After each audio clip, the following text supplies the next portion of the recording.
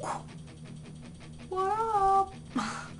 so the other day I was surfing the interwebs and I found uh, this guy, Charles Trippy. Have you heard of him? I love him. He's amazing.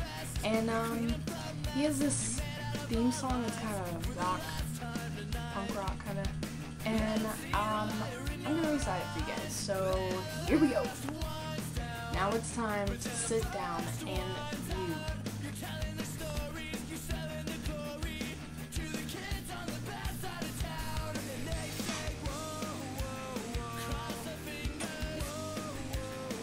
coolest couple that is on YouTube.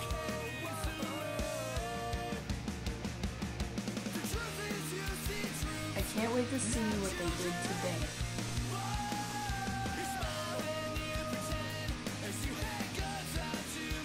Hey Charles, what are you doing here? Haha, sweet.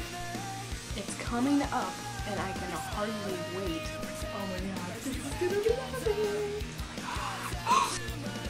internet killed TV. Why don't you work? Why won't you work? Come on now! You murderer! And we'll keep thumbing up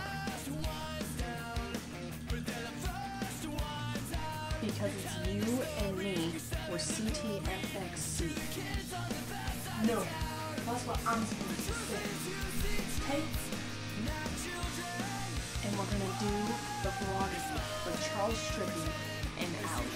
hey guys, good morning, what's up? Um, so right now I'm running to the just hanging out with here.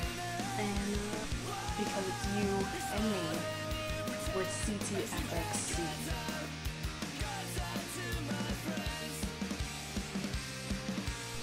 And we're gonna share the interwebs with Charles Trippy and Alli.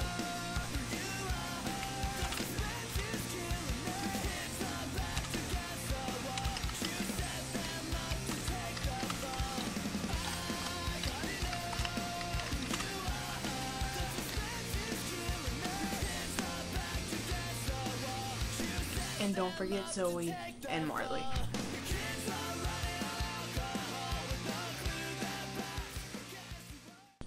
Hey, what's up? Uh, so guys, um, tell me what you thought.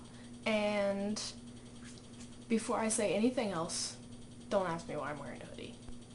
Oh, and if you want to be the best people and fans and amazing interwebers in the world, every single person that sees this needs to send it to Charles Trippy or Alli or Justin or Melissa. So, of course, today's question is related to the video, which means that the question is something to do with CTFXC.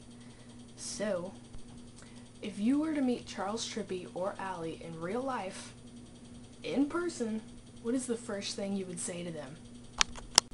I would probably freak out, even if one of them sent me like an at reply on Twitter or something. I would freak out. Pretty much.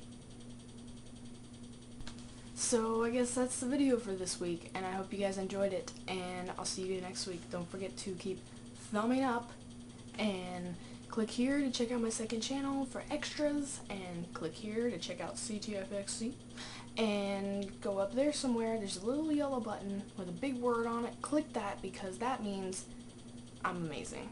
That means you love me. Every time you click that, I feel more and more loved. You're giving me internet hugs. That's, that's what it means.